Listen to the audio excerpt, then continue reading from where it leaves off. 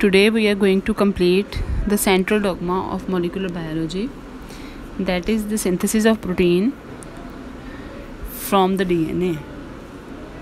We started from the very first topic where we first replicated the DNA and then we make this DNA to become single stranded RNA and from this RNA we are going to translate this message from the RNA into the language of protein. That is th- that process is called a translation, and we are going to start this process with the help of genetic codes. The letters A, G, T, and C corresponds to the nucleotides found in the DNA. They are recognized or organized into three letter codes words called codons. And the collection of those codons make up the genetic code. It was basically impossible to understand protein synthesis or to explain mutations before the genetic code was elucidated. After it becomes known that we have different codons for the synthesis of protons for the synthesis of proteins uh, it is it becomes easy to translate the codons the message the genetic code in the form of amino acids. So for 20 amino acids there should be 20 codons. And there are some specificities for the genetic codons. Codons are A, G, C, G, A, G, C, and U, which are adenine, guanine, cytosine, and uracil and the different characteristics or specificities for the genetic code are each genetic code is specific so the first characteristic is specificity it means it is unambiguous कि जो species जो specific conserve sequences जिन species में हैं वो उन्हीं में ही रहेंगे the second one is the universality universal rule है कि जिन स्पीशीज़ के अंदर ये हमारे मौजूद हैं, वो उन्हीं के अंदर रहेंगे। Third world that is the very important is the degeneracy और redundancy it means that many amino acids have more than one codon and we have many amino acids which are going to be translated from a single transfer R N A The fourth characteristic is the it is non-overlapping and commaless. So this is a table of genetic codon where we take three amino acids in, in a consecutive order and it causes the formation of different codes and the characteristics are specificity universality degeneracy and non-overlapping if there is a problem during studying the genetic codon we will face different types of mutations. These different types of mutations could be changing in single nucleotide bases or changing in different or more than one nucleotide bases if the change is uh, between the single nucleotide then three types of mutations will occur. These are known as silent mutations missense mutations and nonsense mutations here you can see uh, uh, the middle diagram which is UCA that is the codon for serine. As serine, has more than one codon if UCA is going to be altered by UCU it will code, code for serine also. So this type of mutation will be called as a silent mutation. And if UCA is going to be converted into UAA that will be termed as a nonsense mutation because in place of synthesizing serine amino acid a termination codon reached and premature termination of protein synthesis occurs. And missense mutation is going to be seen when UCA is going to be replaced with CCA as it is entirely different amino acid that is going to be added in the list of proteins. So other types of mutations include nucleotide trinucleotide repeat expansions splice site mutations and frame shift mutations. In this case we have in the, the the explanation of frame shift mutations is the frame is going to be shifted in many diseases by adding or deleting a base in the middle of the codon of the messenger RNA you can see serine, proline, methionine and alanine are going to be present in consecutive order. If there is addition of a base after serine then the entire framework is going to be shifted. If there is a serine after, um, proline after serine then again serine is going to be added by adding a single uracil in that base which causes the formation or type of mutation which is known as frame shift mutation. Same happens in the case when a nucleotide is going to be deleted after one amino acid sequence which results in the deletion of one amino acid results in the frame shift mutation by deletion. And other types of mutation also includes trinucleotide repeats which is which could be seen in the Huntington disease and other trinucleotide repeat expansion diseases what happens in Huntington disease we have trinucleotide repeats which are going to be repeated in the protein sequence of this disorder. mRNA is simply translated into Huntington protein with abnormal glutamate residues.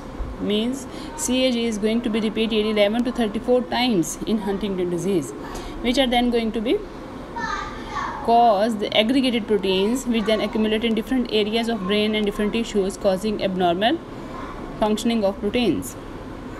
Other types are seen in Fragile X syndrome and myotonic dystrophies where in Fragile X syndrome CGG is going to be repeated and causes the abnormal protein formation in Fragile X syndrome and in myotonic dystrophy CUG is going to be repeated and we will see different types of frame uh, different types of trinucleotide repeats causing Huntington disease, Fragile X syndrome and myotonic dystrophies so keep in mind these are these are the examine uh, these questions are very important according to examination point. Now moving towards the overall process of protein synthesis as in case of um, transcription protein synthesis is also completed in three steps called as initiation elongation and termination. And many components of translation are there like we already make messenger rna transfer rna and ribosomal rna which are the basic components for the synthesis of proteins which is known as translation. And different energy sources are also required in case of initiation we need to know that methionine is the initiation codon for the translation and we have a sequence of codon in the messenger RNA that is complementary with the anticodon sequence that is present in the transfer RNA. So keep in mind that translation is always going to be started with the help of methionine as the initiation codon. Some other components of translation process is amino acids, transfer RNA, amino acids attachment sites, anticodons, amino acid transfer RNA synthetases. We will see what they are going to do as the name is indicating that amino acid transfer RNA synthetase must have some energy sources in them and this energy source is going to be useful for the uh, energy purposes of this translation process. And the third type of RNA that is the compulsory component of translation machinery uh, is the ribosome. Ribosome ha have A, P and E sites on them. So these all the sites are involved for the synthesis of overall machinery of translation. Moving towards the initiation step, codon recognition is done with the help of Wobble hypothesis that I have told you in the characteristics of genetic codon in terms of redundancy means only um, uh, uh, different amino acids are there for that code for the same amino acids so this is the Wobble hypothesis. And prokaryotic and eukaryotic initiation factors are different as in prokaryotes poly, uh, the translation machinery is work, worked with the help of polycistronic mechanism. And formylated methyl methionine is required for the initiation. And the initiation factors 1 2 initiation factor 2 and initiation factor 3 recognized as IF1 IF2 and IF3 are involved in the prokaryotic initiation of translation while in eukaryotes different types of eukaryotic initiation factors are involved and they are greater than 10 in number. So in prokaryotic system we have different cons- cons- consensus sequences in the messenger RNA that th- those are called as the Shine-Dalgarno sequences which are 6 to 10 base pair upstream of the AUG. AUG is the initiation codon. Initiation that is the codon for methionine. So upstream of methionine codon we have Shine-Dalgarno sequences that is the recognition point for the synthesis or initiation of translation. Elongation involves elongation factors which are EF, TU, EFTS and some other peptide transferases. And these are in case of prokaryotes while eukaryotes have different types of elongation factors as well. We will see these the details of these factors in, in the upcoming diagram.